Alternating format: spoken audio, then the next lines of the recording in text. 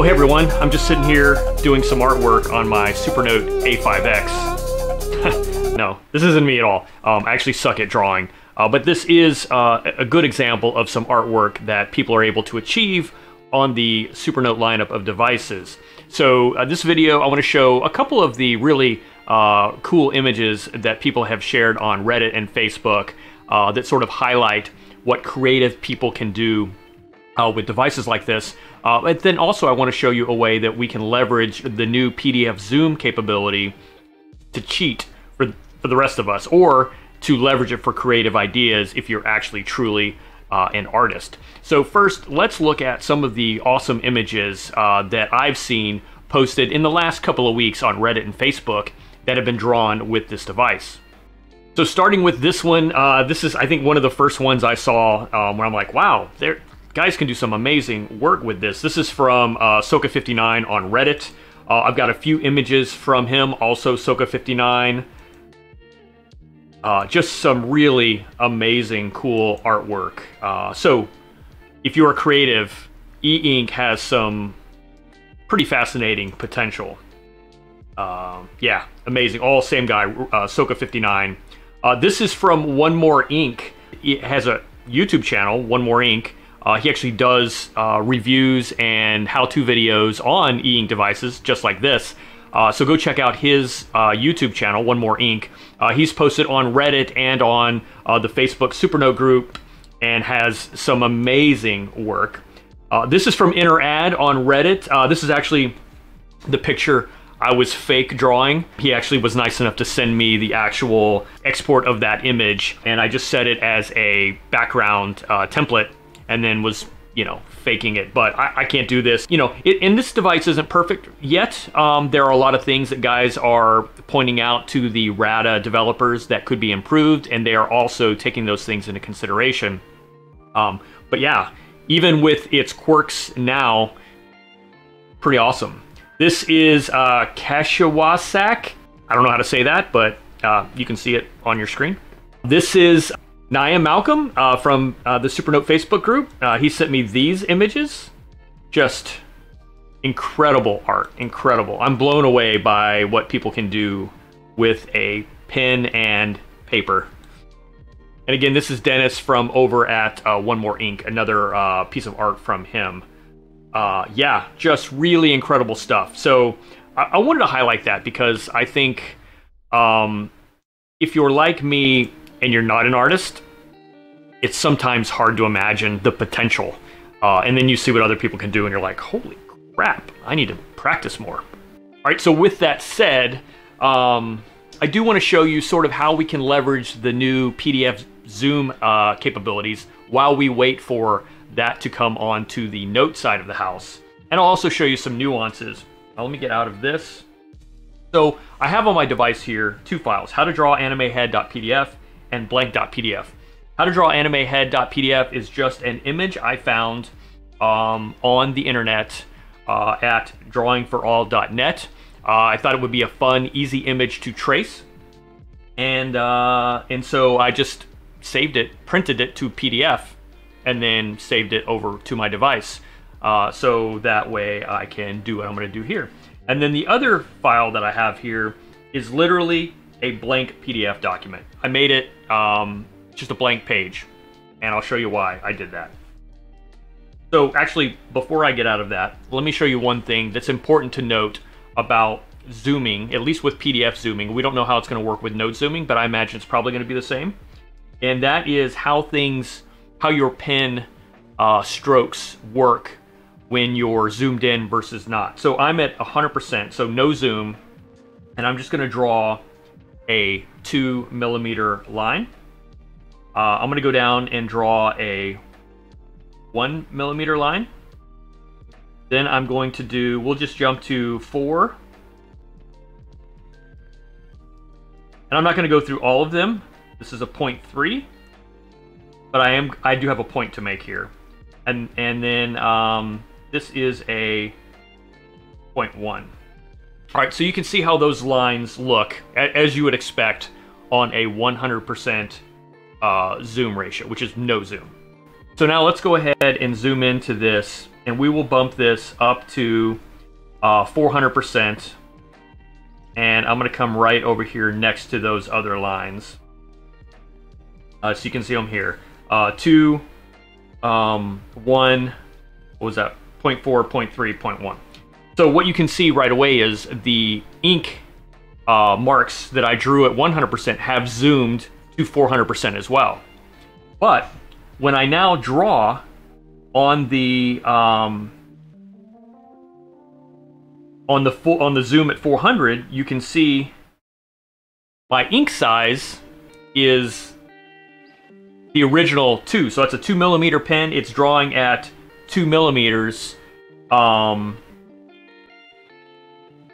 at the full zoom level, which I really like this. The ink um,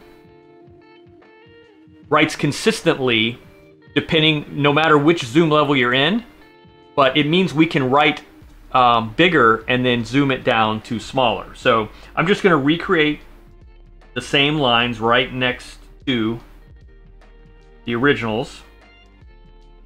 And what you're seeing basically is each line is four times smaller than the other because I'm writing it um, after zooming the others uh, to four times.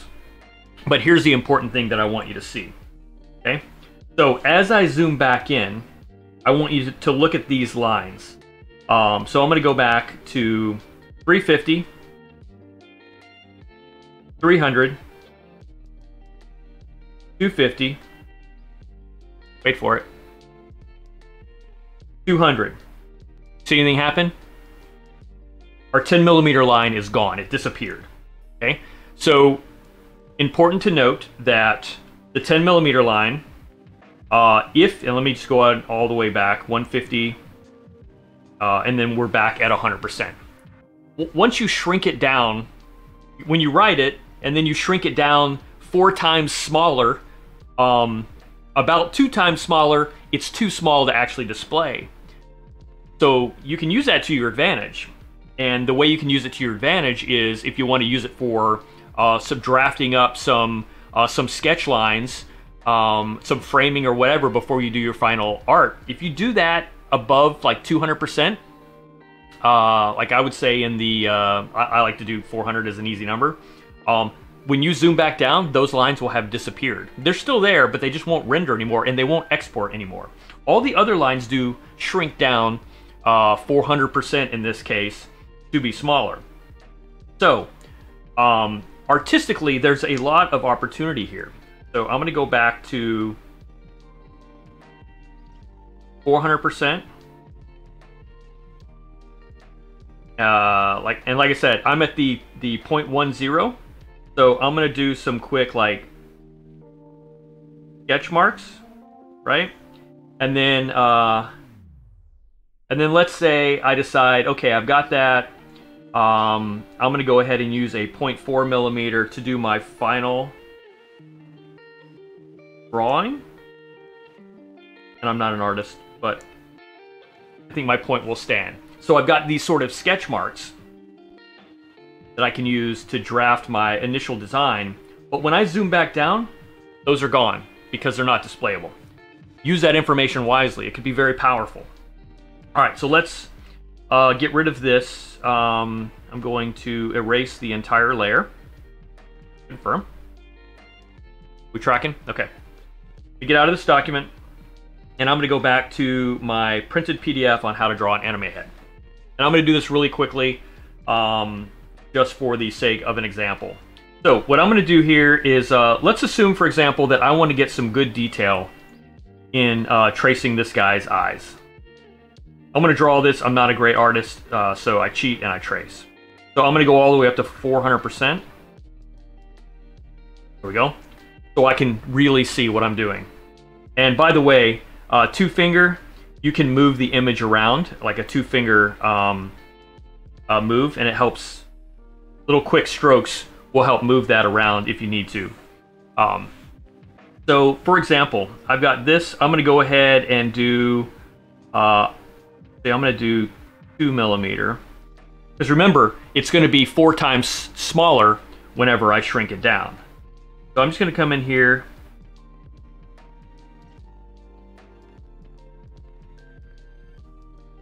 Trace around that eye. I can do the iris.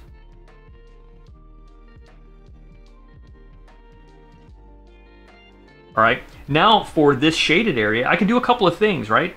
Um, I can use uh, my shading colors, but I can also do something like a 30 millimeter, or a, I'm sorry, a 0.3 millimeter, and I can do some fine detail work.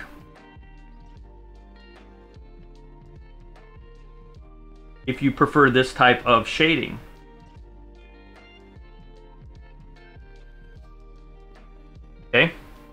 Let me go ahead and uh, trace out this. I'm gonna do that at at one millimeter.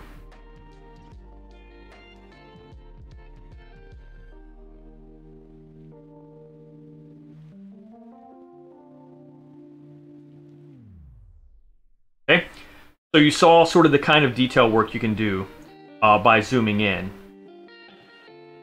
And then when we zoom back out, all of that's to shrink down now four times smaller in this case. Okay, kind of looks the same. It's because I'm tracing it. Uh, let me select this up. And remember, I just did the eye. I'm going to copy it. For the sake of this demonstration, I'm just going to paste it right here in a blank spot because I want you to see how that detail work turned out because I used a pen size at 400% and then it shrunk down, I'm able to do some really fine detail um, without having to be super precise and fine at 100%. So I think that that's really interesting. All right, so let me uh, do some more work on, uh, on this real quick to get some more content for you. And then I'll show you why I have that blank PDF.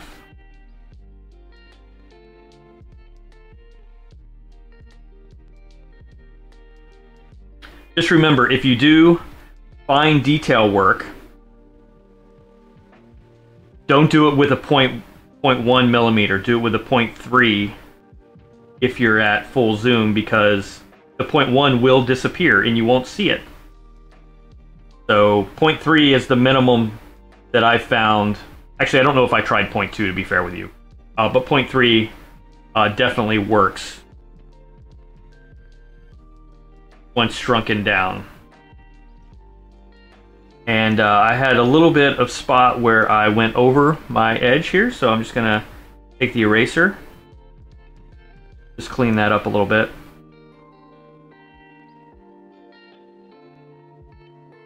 So why trace? Um, for me, it's it's more about paying attention to how art is done. So even though I don't know how to draw,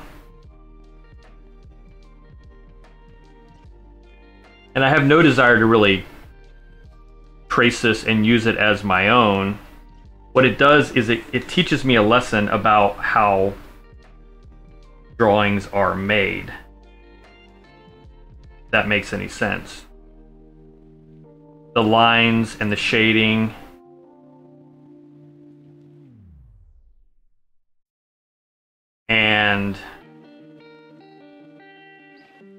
facial features.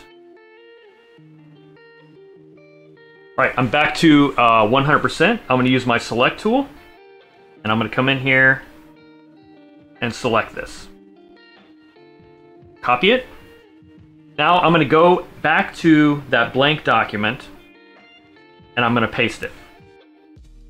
So the reason I have a blank PDF is because currently the clipboard doesn't transcend all document types. So if I'm in a document, a PDF document, and I copy to clipboard, I can't go paste that in a note right now.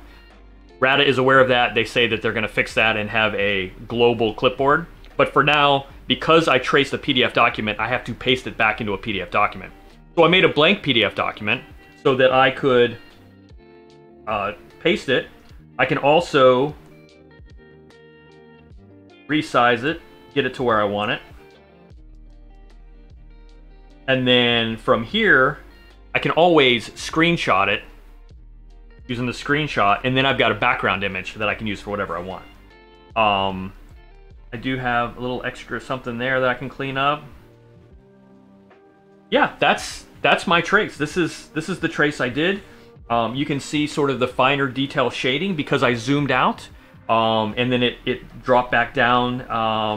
I think it works really well. So, um, so let's uh, get this image in your head. And then this was the original. I'll erase the my work on here. Original.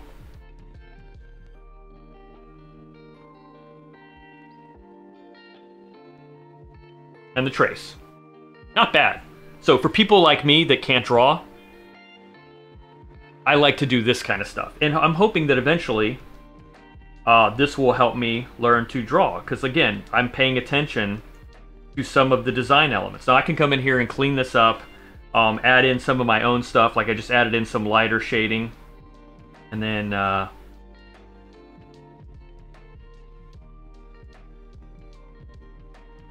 you know, I can continue to add in textures uh, and whatever I want. But now I have a foundation. Anyway, just wanted to share that with you. Really just also wanted to show off some cool artwork from other people, and this was a good excuse to do that. So anyway, guys, thanks for watching.